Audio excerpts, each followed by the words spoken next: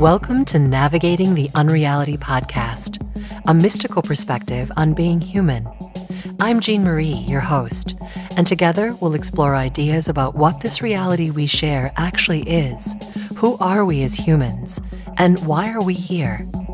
Let's go deep and discuss ways to navigate this reality. Enjoy.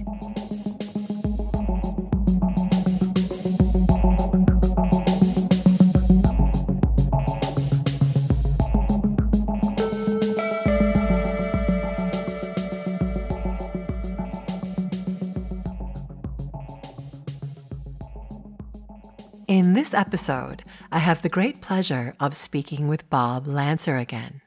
Now, today we're on a Skype connection from Georgia, USA to Down Under, so it does get a little bit patchy, but you'll get the gist of it. Today, we are talking about the mystical Kabbalah and the Tree of Life. Now, the Tree of Life is a schematic or a meditative symbol that represents the mystical story of the Kabbalah. And Bob, when I look at the Tree of Life, I see a sort of symbolic code that is an image of our esoteric reality. And I'd love for you to offer your understanding of what is the Kabbalah and what is the Tree of Life, and how can it help us navigate our paths here in this earth realm? Well, as far as what it is, I, I could not describe it more eloquently and succinctly than you just did. As, as far as how to apply it, that's kind of my specialty because I was trained in Kabbalah, you know, by an individual um, who whose mastery was translating the wisdom teachings of the ages into practical daily life application. And right. so that's been sort of my gift when it comes to Kabbalah from the very beginning of my studies with it.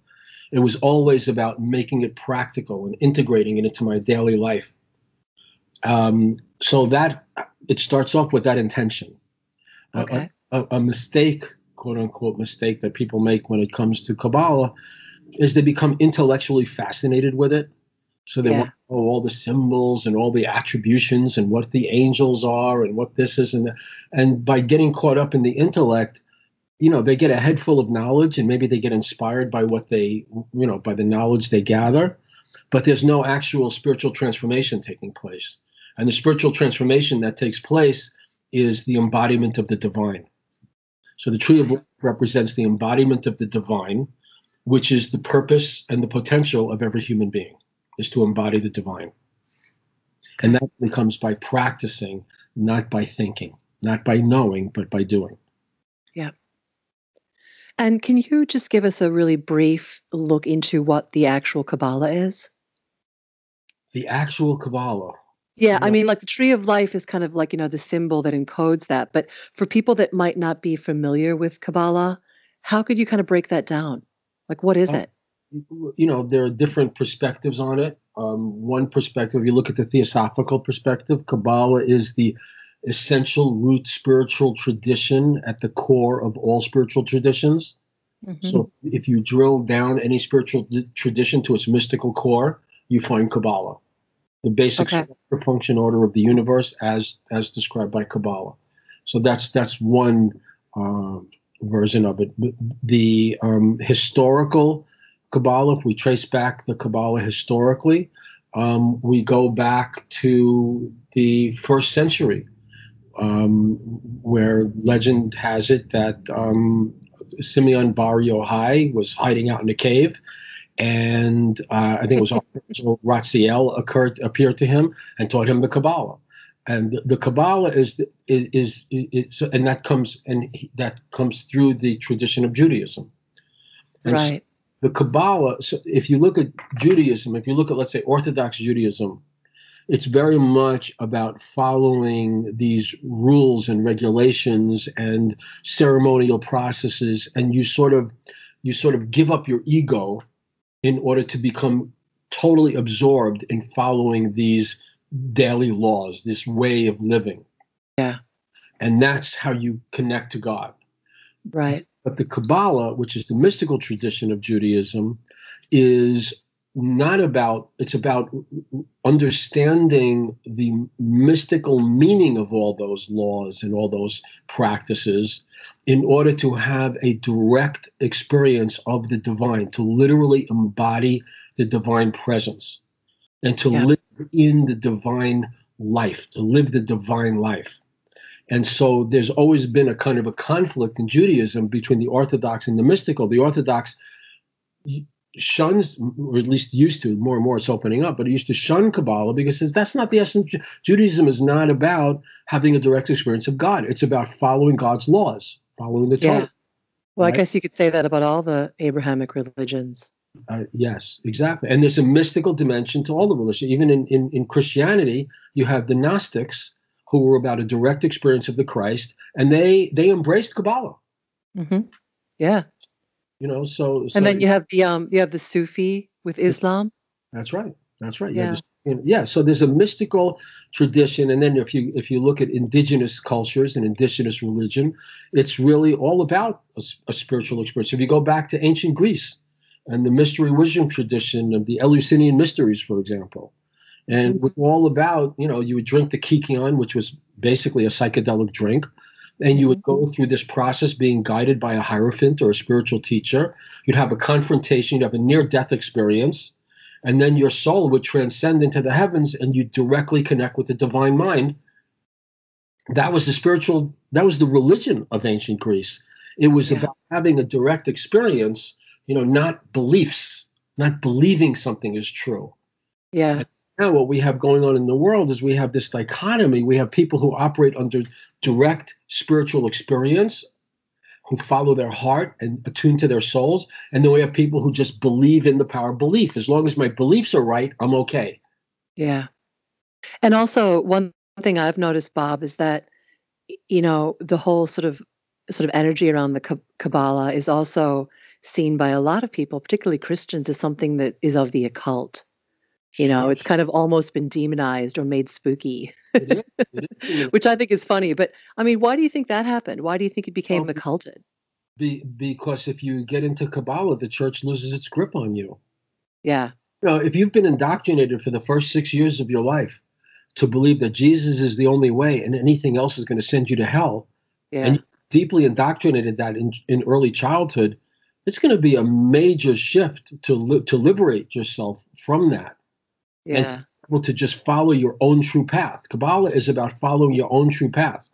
The top sphere on the tree of life is Kether, which represents divine will, which yeah. is the perfect will for you to follow at any given time. Yeah. Not you can't follow that will if you're caught up in tradition and and and institutionalized you know religion you've got to be clear of all that and, and christ said it he said you know you you to, you got to just follow me directly yeah. So there, and the thing, yeah, I was going to say the thing is too that the whole occult issue is that, I mean, even occult, just the word occult just means hidden, but you know, it's sort of like the Orthodox religions have kind of almost turned that into some kind of like spooky corner that you're never meant to turn over. You never meant to go around there. yeah, uh, uh, because they're, they're, uh, because they represent the ego, and the ego yeah. is terrified of truth. That's how you know the difference between the ego and the true soul, the true self. The ego is always terrified of truth. They're so, would you say that the uh, mainstream religions, then, like Judaism and Christianity and Islam, do you think that those are all egoic institutions? To the to the degree that they hold on to the power of belief, yeah. Yeah. To the degree yeah. that it's just about well, you have to believe this way and follow this way, as opposed to open up to your own inner being you yeah. have within you the capacity, the faculty for knowing the truth. Like the second sphere on the Kabbalah tree of life is wisdom. It's the mm-hmm.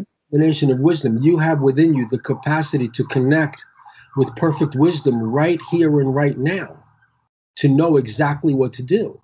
You don't have to become egotistic about it. If you become egotistic about it, you're losing the path. But if you just open up to your own inner wisdom, you'll be guided perfectly but the, the you know the external religions they shun that. They say no you do what we tell you to do because they're all just cults. And if you don't yeah. do what we tell you to do you're out of a group. Yeah. you, well, your family's going to disown you. Your friends are going to disown you. Your community's going to disown you. We're going to relate to you as if you're possessed by a demon. Yeah. Yeah, I hear you. Unless you disown disown them, which is kind of what I did. I mean, I grew up in a Catholic family, so I mean, I very much appreciated all the just the ambiance of religion, but I just always found it to be such bullshit. You know, it just well, never it never resonated in my heart anywhere. Experiential. Yeah. You know, but if you if you went through the the rituals of the early church, which there's research, scholarly research right now, which has been finding that in the earliest in the times of Christ, they were using magic mushrooms. Yeah. To open up and to have these yeah. divine experiences. Yeah. So somehow it, it went from Christianity to churchianity, right? and so now what that means is that there's a huge segment of the population that can be controlled through propaganda. Yeah. You're exactly. not going you're not going to open up to the truth is always love, right? The yeah. lie is always hate. Yeah. So if you're ruled by propaganda, you are being programmed to hate and to fear and to oppose and to conflict, yeah. to humanize. Which pretty much, you know, is which pretty much is indicative of the mainstream consensus reality in our world. I would say it's about 50 50. Oh, really? Okay. Yeah. I think there I think it's about 50 50. It's probably more like 60 40 of 60% of the planet is actually awakening to the guidance of inner truth.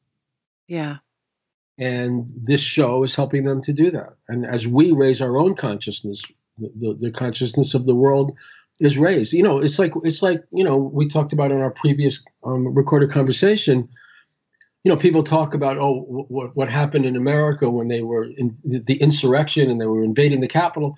Well, what happened in America was people woke up to the realization that they really do love democracy. Yeah. Yeah, and also we don't know to what degree that was just theater. Well, it doesn't matter. Yeah. See, you start trying to figure out what's going on outside of you, you've lost the path. Right. truth outside of you. Right? If you try to figure, well, did that really happen? Was it theater? Was it real? As soon as you go there, you're going you're leaving the path. The path is inward. What are you creating? What is guiding you right now? How are you being affected by that thought? Mm-hmm. And as you seek the truth within, you're following the true path. When you start getting caught up in conspiracy theories and who's running the show and what's going on and how the whole economic thing, people, when they go into that place, you'll find there's always negativity that comes in to fill the void. Yeah, it's a great big distraction, isn't it? That's all it is. It's a temptation. Yeah. Once you leave, once you leave to and go get involved intellectually in the outer world, you create a space within you for negative forces to come in and occupy. Yeah. So you never have to worry, you know, did they really land on the moon? Is 9 11 real? as soon as you start going into that, you're going into fantasy, imagination, and belief. And if you just let that go and say, now, wait a minute, is this the best use of my attention right now? Is this yeah. to be focusing on? Because whatever I send out, I get back. I want to be guided right now by God. I want to be guided by, in, in, in, Kabbalah, the third sphere on the tree of life is true understanding. True understanding is internal, it's seeing what's going on inside of you, not what's going on outside of you. It's go, focusing on what's going on inside of you. And when you focus on what's going on inside of you, you're guided along the path on the tree of life. There's a pathway that connects understanding to beauty. Yeah. You follow what's going on inside of you, you're being guided to beauty.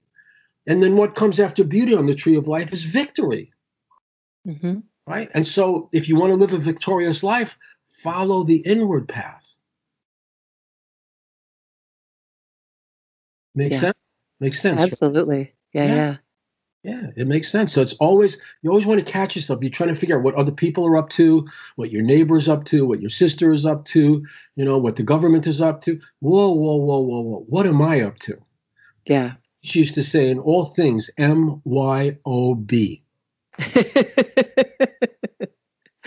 Mind your own business. Right. literally. That's literally right. You know, yeah. you said, you know, mind your own business, stop minding mine. Yeah. So do you think then, you know, if you kind of we sort of look at this tree of life as kind of a a symbol that represents kind of the mystical playground of our reality here. Like do you think that this sort of like outer world distraction is that kind of like built into this realm as part of our our training? That's sphere 10, Malkuth. Malkuth is the is the, is the tenth sphere, the bottom sphere in the tree of life. It represents the physical world, mm-hmm. and the mm-hmm. physical world is nothing but an outer projection of the inner world. right. So, like what people are doing is they're walking into a magic mirror. They're walking into the mirror and they're getting caught up in the reflections. Yeah. living at the level of cause. And so part of the evolution of consciousness goes from the animal level of consciousness to the human level of consciousness to the divine level. So at the human level, and Nietzsche used to talk about this when he would talk about the Superman and we're, we're crossing over a bridge. So at the animal level of consciousness, the animal level of consciousness is totally identified with the outer world, with the physical world. That's how the animal survives. The dog smells, right? The dog listens, right? it follows it follows a trail and it and if it sees food it gets excited to eat the food right?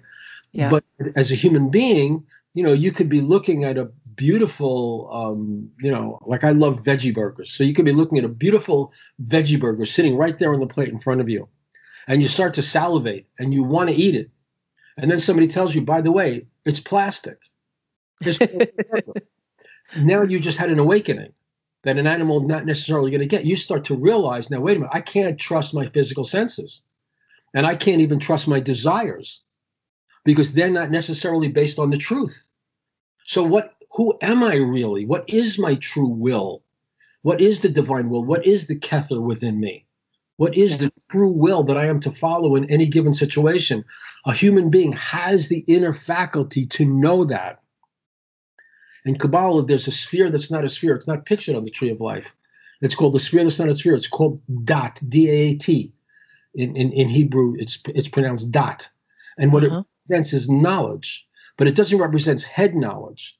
It represents the, the potential of the human being to know divine will, divine mind, to mm-hmm. actually experience that level of consciousness. And it's the ultimate urge of the human being to travel up the tree of life, to go from Malkuth, the physical level of consciousness. Not we, we don't have to leave our bodies, but we awaken our consciousness to include our body, but to put our body in the context of the spiritual framework of the universe.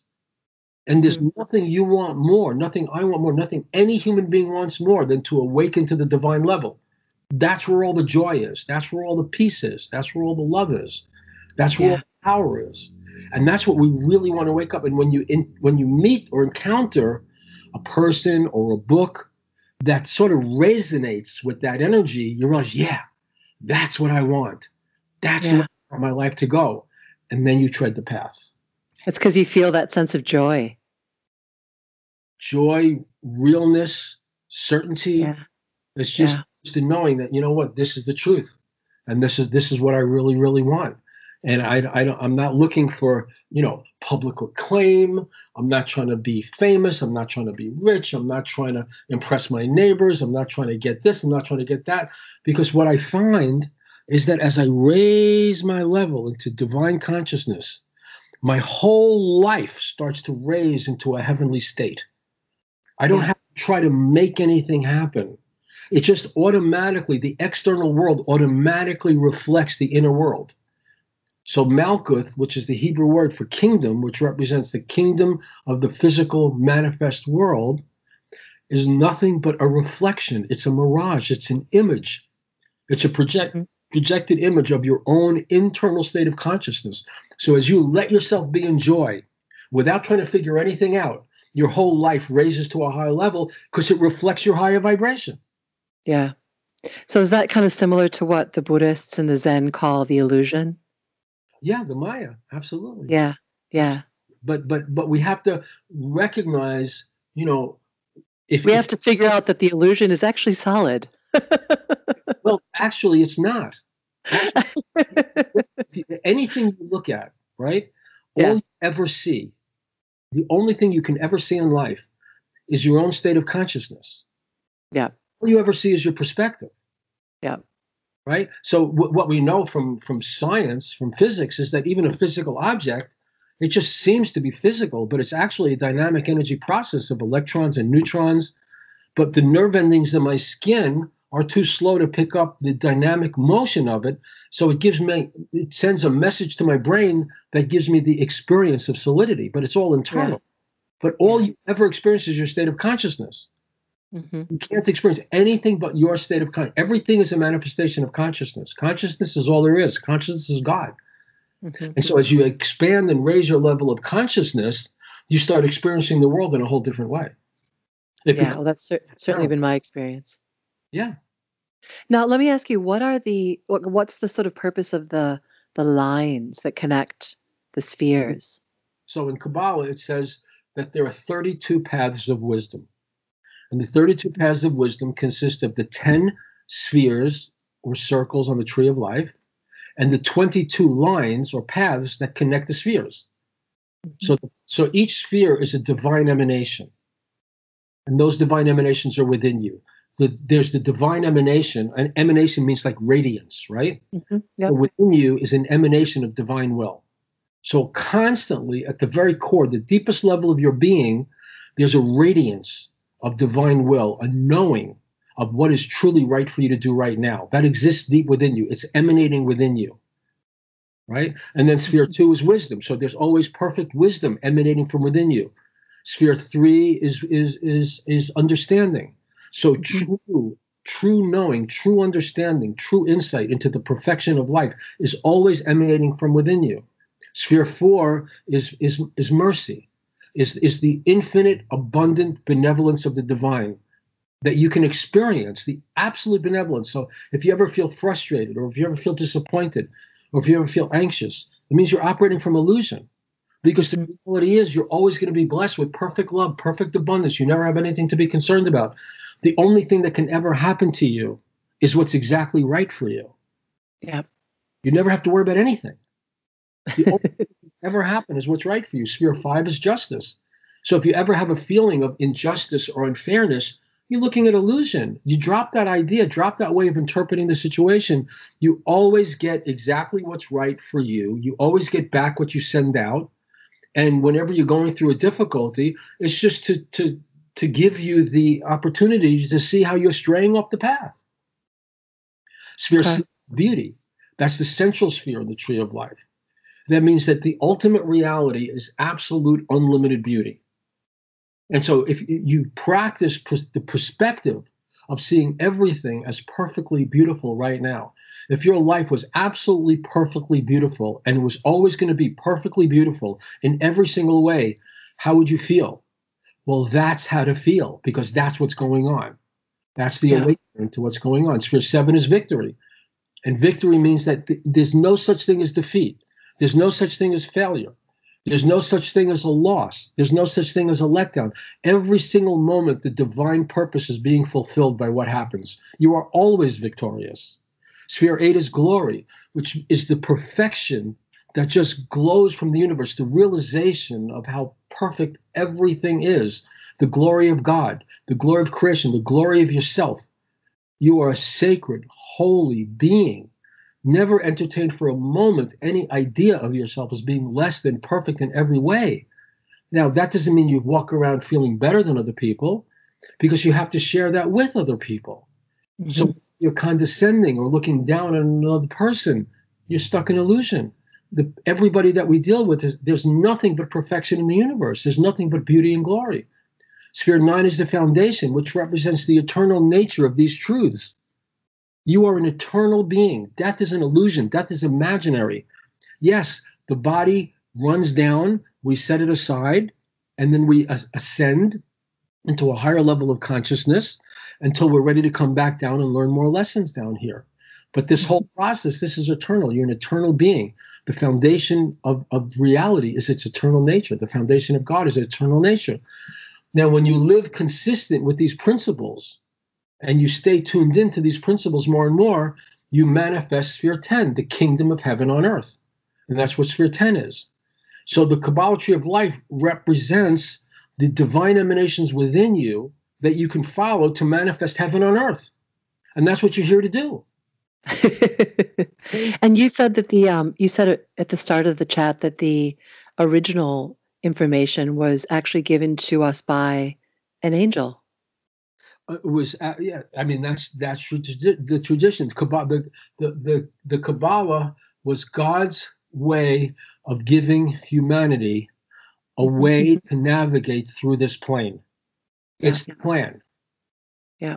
it's the plan. Now, you don't ever have to learn Kabbalah. You can find your way without it.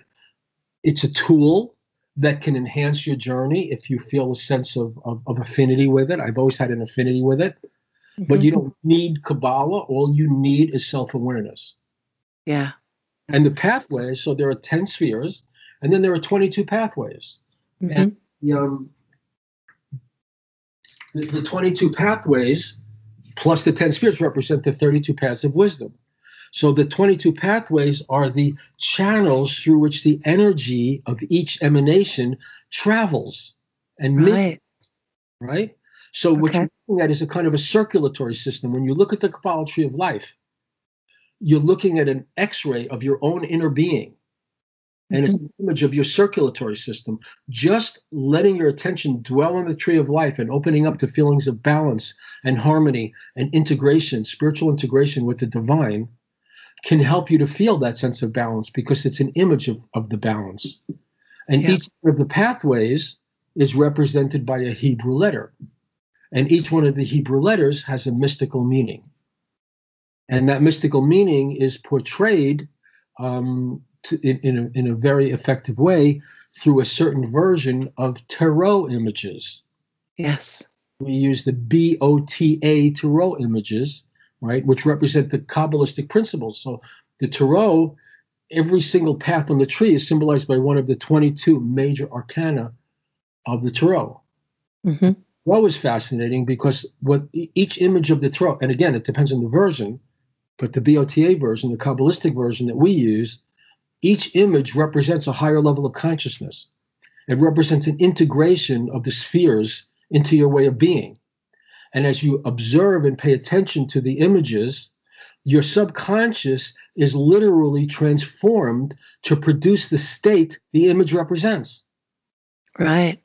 So the image liberates us from lower programming, liberates us to higher realization. Right. So, from that point of view, too, I mean, I've found that even just looking at the tree of life is a very meditative mm-hmm. energy for me. Yeah. Like, I mean, I don't have your, I don't have quite your intellectual understanding of the symbol, but just by looking at it, I feel a certain sense of just kind of knowing, if that makes sense. That's the sign that that you know Kabbalah to some whatever degree is for you that you resonate with it, that it yeah. speaks to you, it connects you, it, it connects you to your soul. Yeah, and that's all it's, it's funny. about. Yeah. Now, did, did you grow up in a Jewish community? I grew up in a Jewish community, but it was really just Jewish culturally to some degree. Yeah. It was Orthodox. Most, it, no, it was it, it was you know atheistic. Nobody really believed in God. There was no spirituality. Um, yeah. It was just you know you eat bagels and lox on Saturdays. That was about it. wow. Okay. Isn't that amazing? Like, how did we get to this point where yes. all these beautiful, beautiful mystical traditions just, you know what I mean? Just have become like overrun with just intellectual stuff that just means nothing anymore. Well, I, I mean, when, when, I was a kid, I, I was totally starved spiritually, and I became very suicidal. I was extremely depressed. But once I found the, the, the esoteric path, once I found these these deeper teachings, this way of looking at the universe and living in in in in with consistency, living consistently with the laws of the universe, I mean, I was just fed on the light. I'm like a moth. I just I just feed on the light. Yeah. And so I just, you know, all day long, all I'm doing is either teaching this stuff, reading this stuff, meditating. My whole life is oriented toward just feeding on more and more light.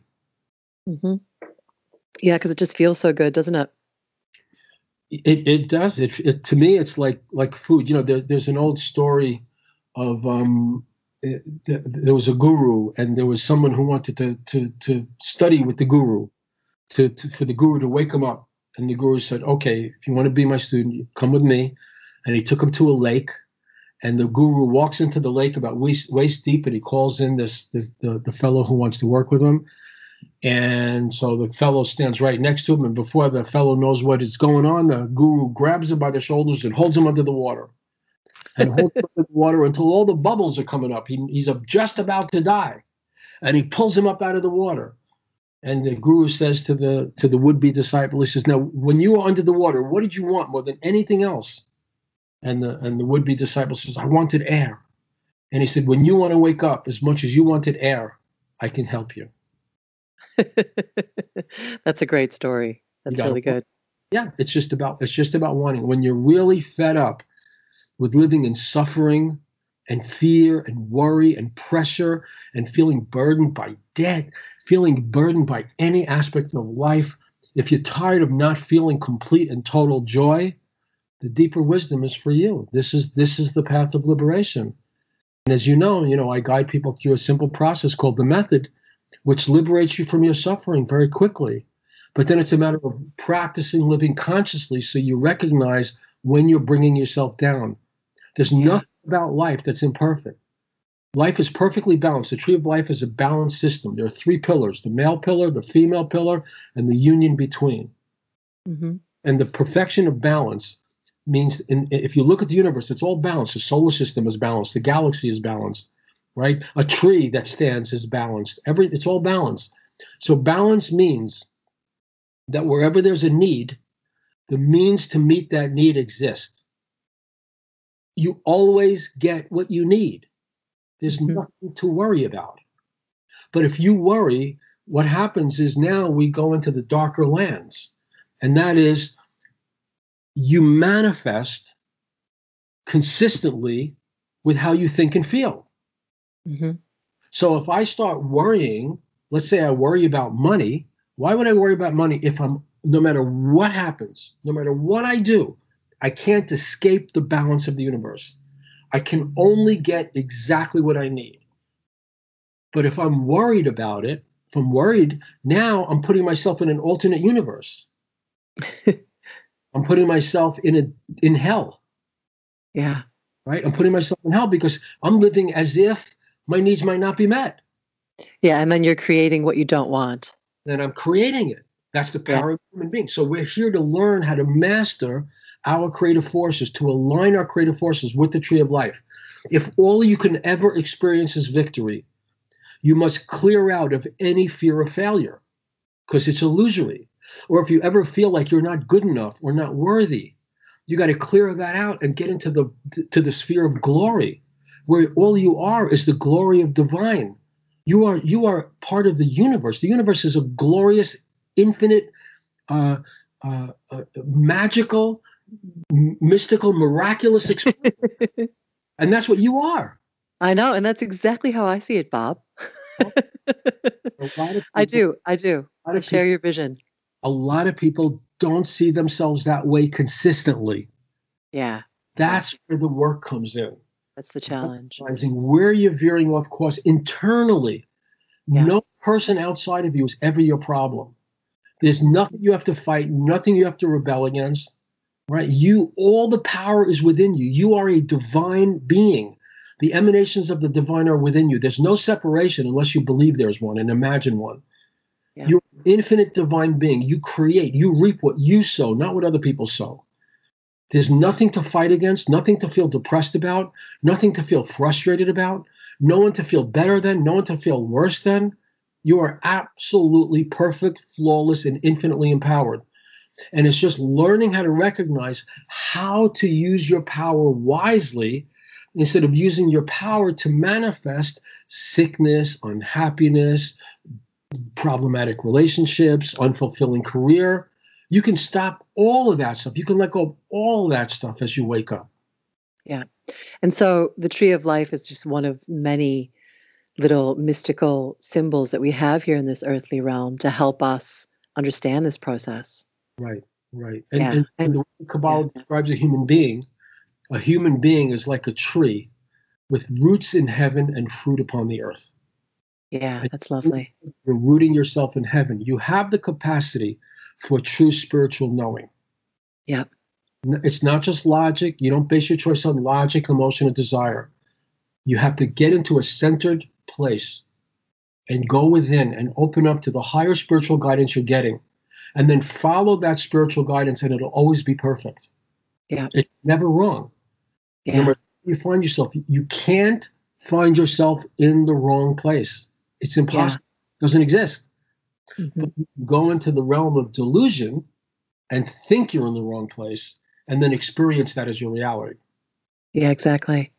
Um, now, can I ask you quickly about your Kabbalah cards? Oh, yeah, yes, yes. The Kabbalah because, cards. Yeah. yeah, I've been I bought those from you um, a couple of months ago, and I've been working with them now pretty regularly, and I love them. I think they're fantastic. I and I was too. just I was just wondering what sort of inspired you to put that deck together. Well, it was back in about 1987 or 88, something like that. Um, there's this there's this aspect of Kabbalah called placing matters on the tree. And so it's a way of interpreting what happens in terms of the tree of life, seeing where the different emanations and the different paths come into play. But no one knows how to do that. They know that yeah. the practice existed, but there's no teaching about how to do the practice. And as I was meditating one day, all of a sudden it just hit me. And the Kabbalah cards, the whole system just occurred in my mind. I was just sitting at my desk, and all of a sudden I saw how to place matters on the tree. And the whole, the whole process just came to me. I took the back of business cards and I drew what the images that you see on the Kabbalah cards, I drew them. So there are 32 Kabbalah cards for the 10 spheres and the 22 paths. I mm-hmm. asked the question, I shuffled the cards, I pulled the card, and all of a sudden my intuition just flowered. And I realized what the card was telling me was true. Right.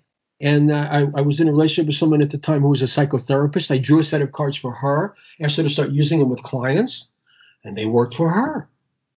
And then eventually I just published them, and they've been published around the world. They've been published in several languages. Um, and it's just a way of communing with your higher self. The tree of life is really the, the structure of your true divine nature. Mm-hmm. And when you use Kabbalah cards, you're getting into communion with that higher potential, that higher nature. Yeah, that's why I like them so much. It just it, it helps me stay stay connected. And it's a feeling of companionship. Yeah, and it's also a really good way just to introduce yourself and become familiar with, you know, some of the terms like mercy and foundation and beauty on a different level. Because I mean, those words are like, you know, really beautiful, beautiful words that are kind of not really understood in our modern world. Right. You know, I mean, even the word mercy, I mean, that is such an amazing word. Like whenever I hear that, I'm just like, wow, you know, I mean, and I mm-hmm. don't I don't even think most people would even understand what that is, you know. They don't. They don't. But it's you know, the the more the more higher consciousness that we emanate, it's like marinating the human race. The human race right now is being marinated in higher consciousness right? And just like you put a meatball in the sauce, and soon the meatball tastes like the sauce. Yeah. person in, in, in the sphere of higher consciousness, and soon they start their own higher consciousness start from within, and that's that's what's going on right now. There's a there's a true separation. The people who are following the spiritual path that is guiding you from within. It's not nothing external. Mm-hmm. They are finding that doors of opportunity are open. Things are just flourishing in their lives. They're finding more joy, more success, and more God because they're finding everything happening miraculously. See, in Kabbalah, what you learn how to do is you learn how to access higher power, higher love, higher joy, higher intelligence. So yeah. if you're operating, you could work really, really hard to try to make stuff you want happen, but you're operating at a certain level of power. So let's take a car, for example. I can drive a car, put my foot all the way down on the accelerator, and the car will go so fast, but it's not going to go as fast as a jet plane because the jet yeah. is operating with higher power. Yeah. Kabbalah opens you up to higher power flowing through you. Now you have to go through a purification process so that higher power doesn't empower lower pa- no, lower patterns. But as yeah. you go through that purification process, higher power flows through you. This higher power is divine in nature. All power is divine. It's divine in nature. It's loving, it's intelligent, and it's omnipotent. So just by opening yourself up right now, if you can feel who's listening to this, if you can feel a sense of higher energy flowing through you, just open up to it and let it flow through you it in and of itself is an electromagnetic field that's forming the circumstances of your life at a higher level. okay, well, I certainly feel it. Yeah, I just knocked over some stuff. now, do you actually do um, Kabbalah readings for people, or do you just do that as part of the method? Or I, I, I mean, you know, like like typically when I'm on a call, I'll go through phases when I'll do it. Well, I'll just pull a card to see what does this person need, right? And I won't even necessarily tell them I'm doing it. I'm just using it to help me tune in. Okay, gotcha.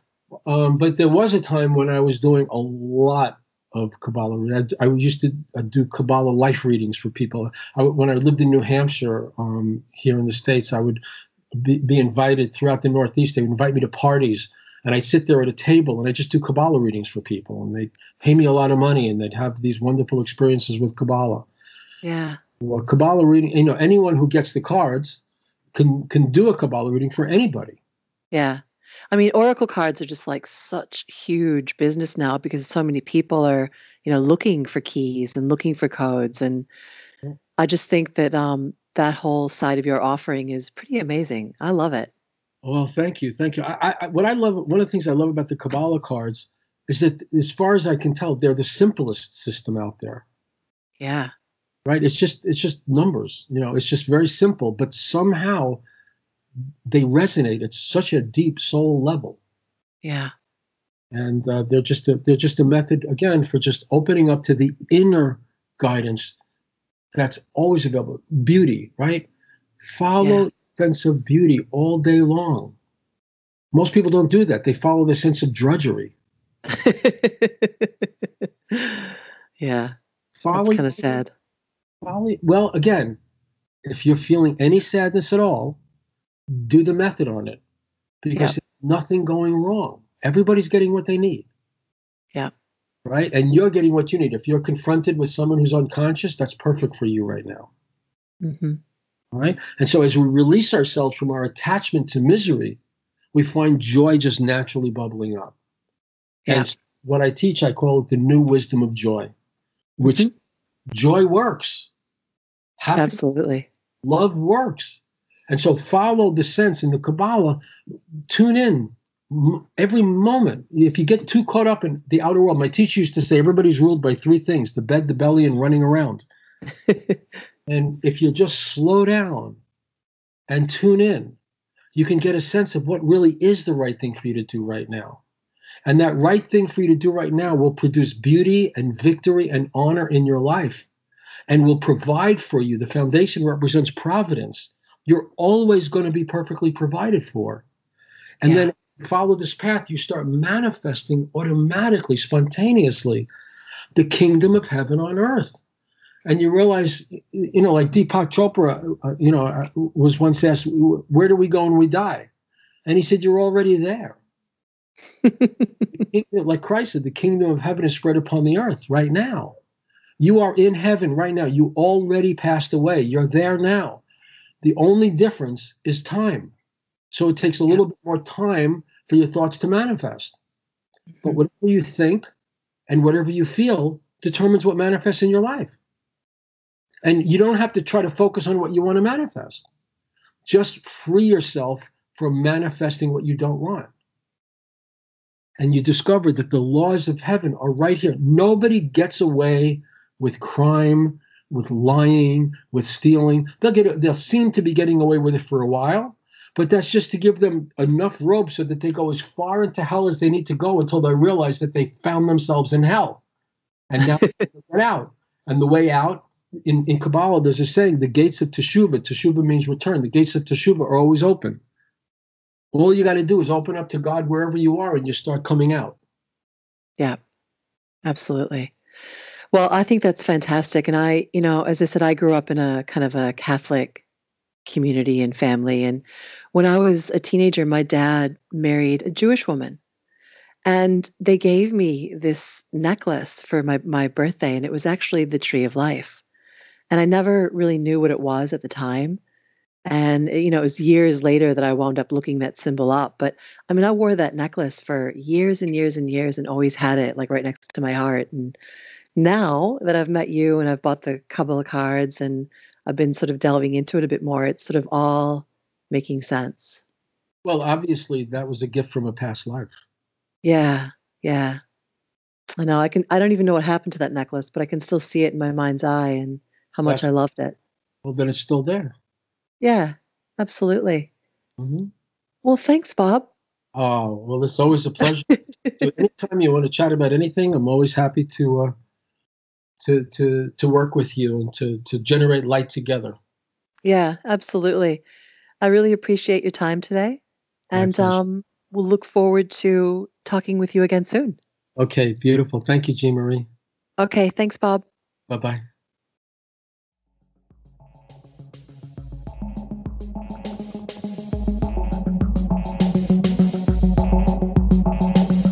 For tuning in. My website is jeanmarie.space, where you'll discover all episodes of Navigating the Unreality. Feel free to message me with comments and feedback, and you are welcome to donate to my podcast. All amounts are sincerely appreciated. See you next time.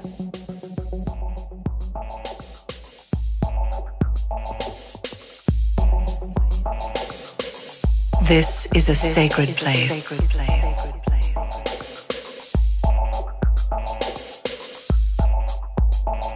There is beauty here and peace and grace.